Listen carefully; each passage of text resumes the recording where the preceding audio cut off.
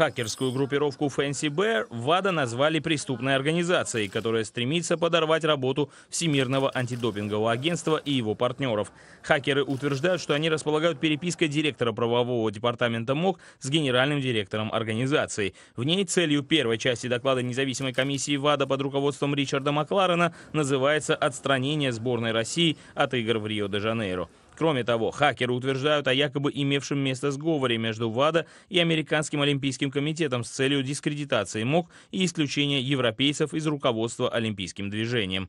Портал BuzzFeed пишет, что последние утечки могут быть ответом на решение МОК об отстранении сборной России от Олимпийских игр в южнокорейском Пхенчхане. Американские эксперты по кибербезопасности не сомневаются в связях Фэнси Bear с российской разведкой. Бывший сотрудник Агентства национальной безопасности Джон Шиндлер.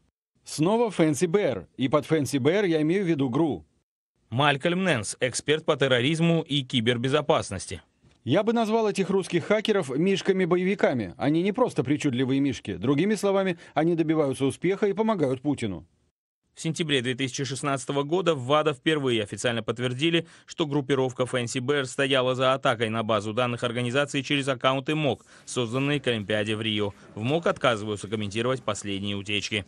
Тем временем исследователи из американской организации Threat Connect, которая специализируется на вопросах кибербезопасности, обнаружила признаки того, что хакеры планируют атаки на антидопинговые агентства перед Олимпиадой в Пхенчхане. В течение прошлого месяца неизвестные зарегистрировали три домена, которые имитируют сайты ВАДА и антидопингового агентства США.